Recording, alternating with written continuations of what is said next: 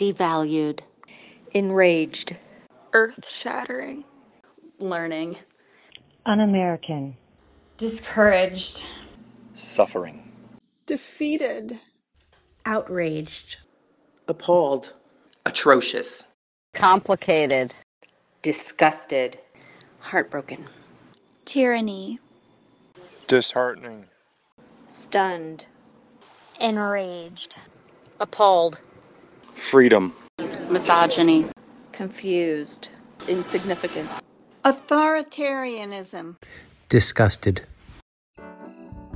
A lot of voices, a lot of emotions, and a lot of questions. That's what this week is about. My only regret is that I can't hold space for everyone to share their personal stories in detail in one episode, or even one word. One word about how you felt with the Supreme Court's decision to overturn Roe v. Wade on June 24th, 2022. But when I put the message out there that I wanted to hear from you, I was on the receiving end of a lot of those personal stories. You reached out to me, you opened up. Friends, family, clients, strangers, private messages, direct messages, social media comments, phone calls, texts, you name it, I heard it. And let me tell you something each and every one of them hit me. One word? It's not that simple, is it? But there's a reason why I did that. And I'm about to share that with you in a moment. If you're just joining me for the first time, making a choice to tune into this podcast, let me first say this welcome and thank you. I know you could be anywhere and yet you choose to be here.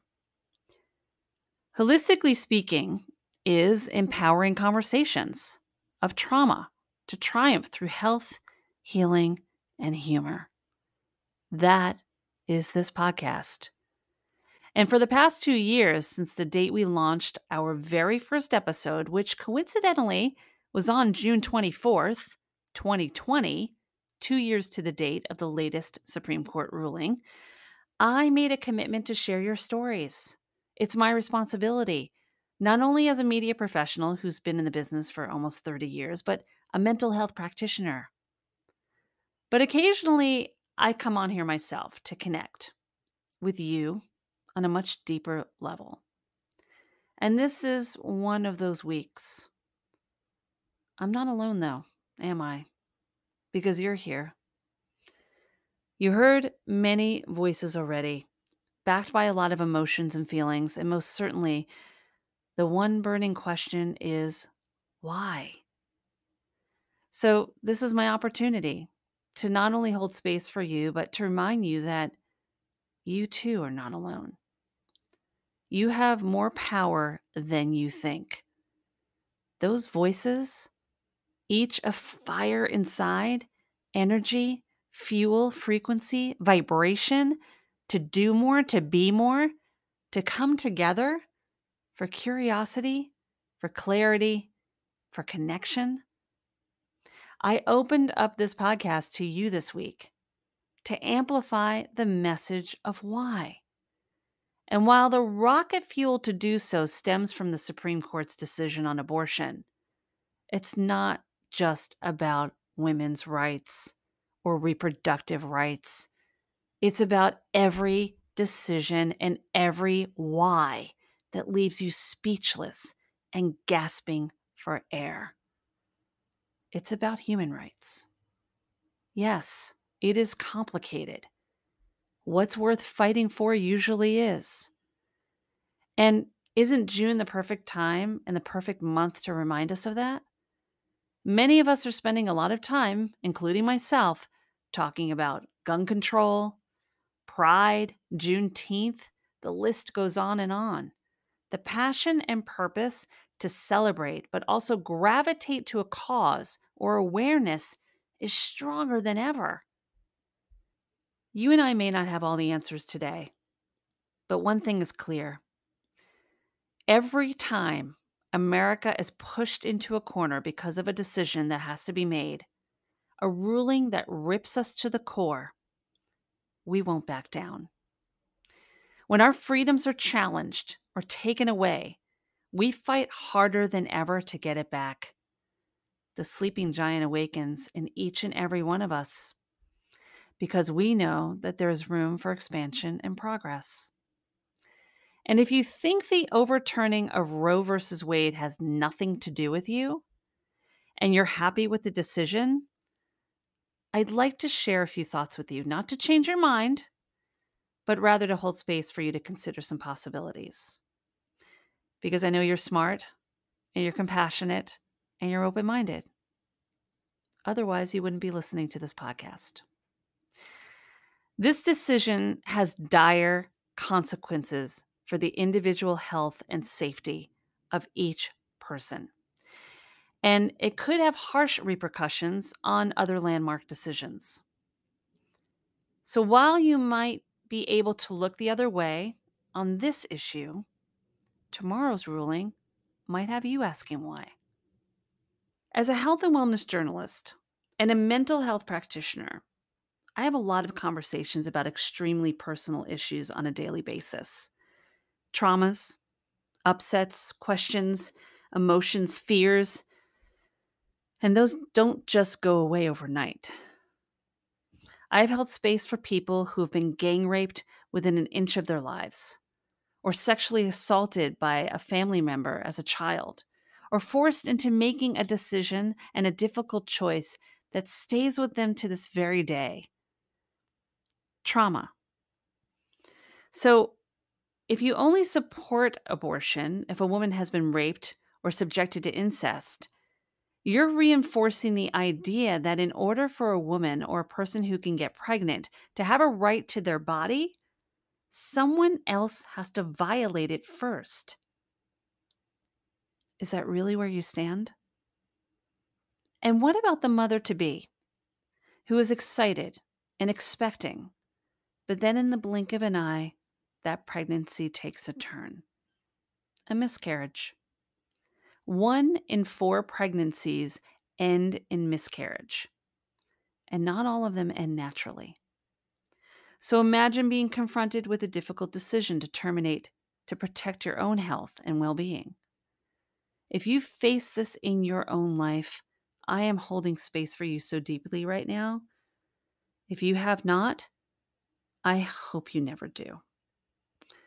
Shame, guilt, loss, fear, the emotions are endless. One in four pregnancies, a miscarriage. Where does one go when 26 states, more than half of our country, the land of the free, are severely restricting access to health care or banning a possibility that could mean life or death for a mother to be?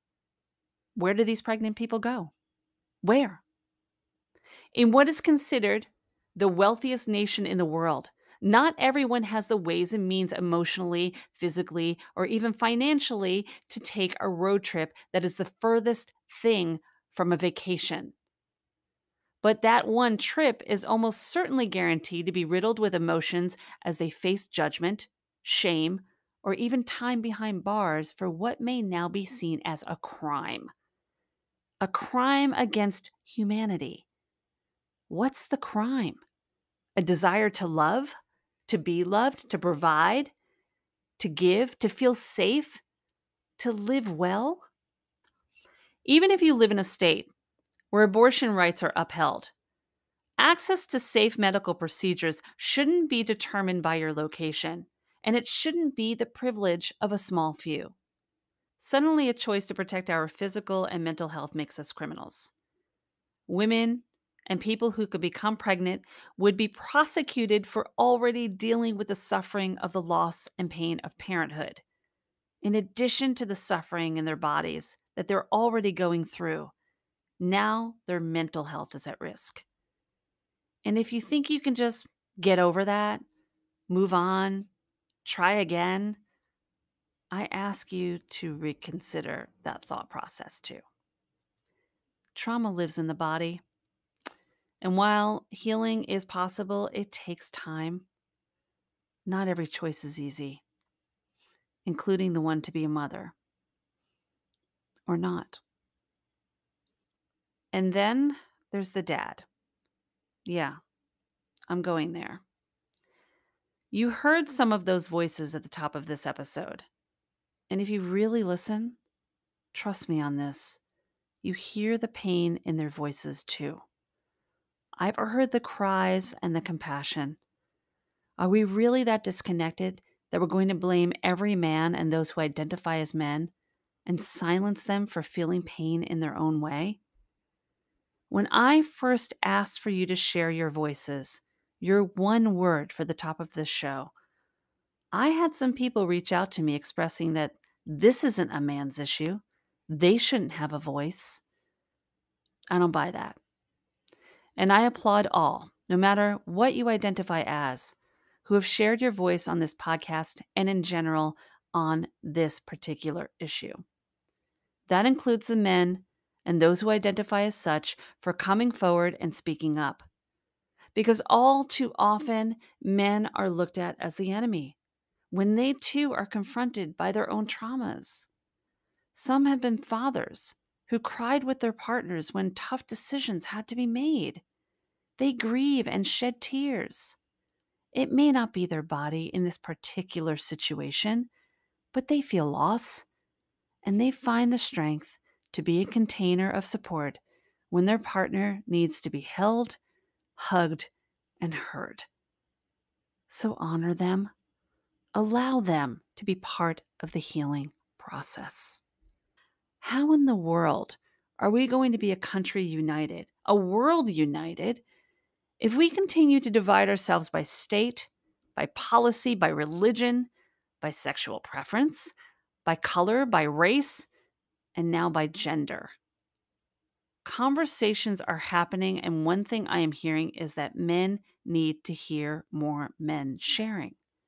Women need to hear more men bring up the topic of reproductive rights. So it's not only our responsibility as women and people who can become pregnant, we are often burdened with having to share, which is why society thinks that this is a woman's problem. It's not. And when we consciously create the space for more compassion, connection, and conversations, free of judgment and shame, maybe then we can actually find a common ground. So, for that reason, I am proud to stand with men who aren't afraid to let women lead, to honor her strength and stand beside her to fight for a cause, just as much as he holds her tight when she is crying tears of physical and emotional loss and pain. I love you for it. All of you who've stepped up with love and honesty and integrity and authenticity, courage, and yes, vulnerability. Don't stop. I see you, and others do too. However, you identify, identify as human first, and let's support each other and speak up. We are smart enough to know who the bad seeds are, just as much as we are wise enough to know an entire group of human beings isn't to blame just because they do not have a uterus and for the leaders of the world who have an opportunity to show up for reproductive rights for their employees and not just listen but take action. Thank you for displaying your company values. But now it's time to live up to them. Show up for your team. They will never forget it. And that goes for the lawmakers too. You have a responsibility. So own up. Each and every person is not just a vote. We are not just numbers. We're humans with homes and families and lives to live. And the leaves fall everywhere, including in your backyard. You're not above the rest. So, how do you show up? How can you help? Well, the first thing you can do is consider donating to local abortion funds like forabortion.com. That's four with the number four, abortion.com. I'm going to share that link and many more in the podcast notes. And if you or someone you know needs help or is looking for support or possibilities, here are a few resources for you. Shout Your Abortion is a campaign to normalize abortion. Don't Ban Equality is a campaign for companies to take a stand against abortion restrictions. Abortion.cafe has information about where to find clinics. And then there's plancpills.org, which provides early at home abortion pills and keep in the privacy of your own home in your medicine cabinet. Again, I'm going to share these links and these resources, as well as many more, in the show notes. Of course, as a mental health practitioner who is trauma informed, I'm here to help you too, to provide extra support if feelings associated with stress or anxiety start creeping in. If you aren't clear on how to move forward, or you're lacking confidence and clarity, and you find that you're doing this alone, you can connect with me. We'll find ways to heal. And if I can't help you, we'll find somebody who can. There is always help, and you are never alone. HIListically speaking, I want to say thank you for taking the time to tune in to listen with an open heart and mind. And also, I want to thank my friends at Squadcast, especially Arielle Nissenblatt, for her time and attention putting together a lengthy list that you'll find in the show notes on ways to both give and receive support on this issue. And if you're looking for a way to amplify your voice to start your own podcast, Squadcast is a wonderful remote recording platform that's hmm. constantly evolving and the one I use to make this show happen. You can give them a try for free for seven days. I'll share that link in the podcast notes as well. Of course, I also want to thank my fellow podcasters who have joined me to hold space for others to share their stories, especially the independent podcasters out there that do so much of this work on their own to hold space for this issue and many others. Having a platform like this is not something we take lightly. I hope you'll continue to support podcasts by not only tuning in and listening week after week, but subscribing, paying it forward, sharing episodes, sharing shows.